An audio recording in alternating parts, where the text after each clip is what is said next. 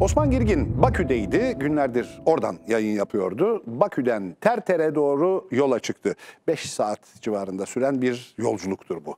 Madem ortada yolculuk var, yolda neler görüldü sorusunu sormak bize düşüyor. Osman Girgin yayına hazır.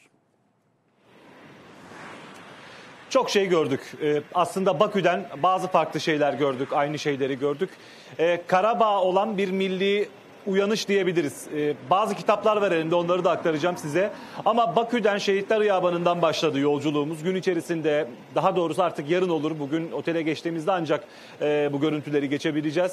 Bir haber izleyecekler. Azerbaycan'daki ruh halini Haber Global izleyicisi tam olarak anlayacak bu haberle bence. Çünkü e, Gökhan Köşetaş'la birlikte bir fotoğraf çektik. Sadece Bakü'de olan değil. Geçtiğimiz günlerde bir haber yapmıştık o noktada. Sokakta olan biteni anlatmıştık. Her yerde Türk bayrakları, Azerbaycan bayrakları dalgalanıyor. E, radyolarda sadece milli marşlar çalınıyordu. İşte onun tınısıyla aslında çıktığımız bir yolculuktan bahsediyoruz.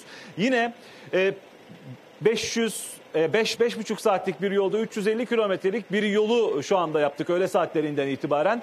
Pek çok yerde aynı ruh halinin olduğunu söyleyelim. Nerede dursak, nerede birine dokunsak, hangi insanla konuşsak aynı şeyi söylüyor. Ee, zaman zaman nöbet değişimi, cephede görev yapan askerlerin nöbet değişimi sebebiyle özellikle subaylardan bahsediyoruz. Aileleriyle buluşmalarına da örneğin tanıklık ettik. Ee, önemli bir milli uyanış olduğunu söyleyelim. Artık e, sokakta bu arkamda uzanan Gence'ye giden bu yolda, Terter'e giden bu yolda, aslında Karabağ'a giden bu yolda bir zafer yolu diye adlandırdıklarını söyleyelim. Elimdeki kitaplar son derece önemli. Çünkü durduğumuz yerde, e, konakladığımız yerlerden bir tanesinde işte askerlerle e, görüşme şansımız oldu. Oradaki sivillerle görüşme şansımız oldu. Herkes e, tıpkı Bakü'de olduğu gibi şunu söylüyor. Biz de cepheye sefer görev emrini verdik. E, oraya gitmek için dilekçeyi verdik. Fakat e, henüz bu görev çıkmadı. Bir an önce oraya gitmek istiyoruz şeklinde bir algı var. Şimdi kamu diplomasisinden ilk andan itibaren bahsetmiştik. Hem diplomasi savaşından hem sahadaki savaştan ve propaganda savaşından. Bu elimde görmüş olduğunuz kitaplar da bu savaşın bir gereği. Yine e, bu yol üzerinde durduğumuz bir kafeteryada bizim gibi konaklamak için duran bir yazar, Azerbaycanlı bir şair, bir yazar.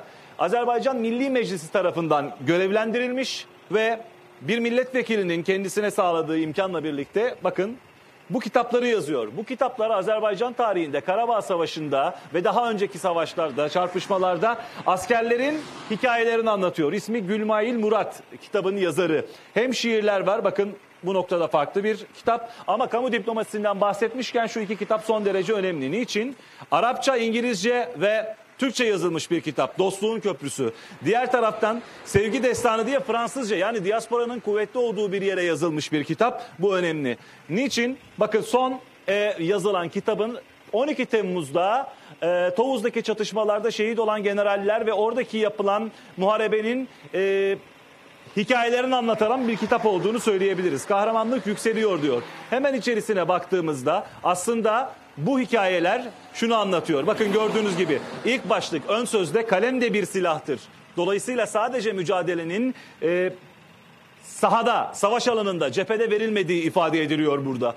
Önemli olan nokta şu, kalem de bir silahtır. Türkiye'deki izleyicilerimizin anlaması için şunu söylemek isterim. Nasıl? Ee, şimdi bu yola bir zafer yolu dedik. İnegöl yolu bizim Kurtuluş Savaşı'nda çok konuşulan yollardan bir tanesiydi. İstanbul'dan ve Anadolu'dan e, gelen silahların aktarıldığı, Kurtuluş mücadelesinin yapıldığı, Ankara'ya yardımın gittiği. O yola Yakup Kadriler, işte ateşte, ateşten gömlekleri yazanlar, e, bütün bunları halde edipler... E, ayrı bir savaş verdiler ve biz kurtuluş mücadelesini onların elinden okuduk. Onların kaleminden, tarihe not düşmelerinden okuduk, gördük. Burada da vatan muharebesi deniliyor ya buradaki çatışmalara, savaşa. İşte onun Halide Edipleri de bu şekilde bu kitaplarla yarınlara bunu aktarmak için gösteriyor. Bu haber yarın ekrana gelecek.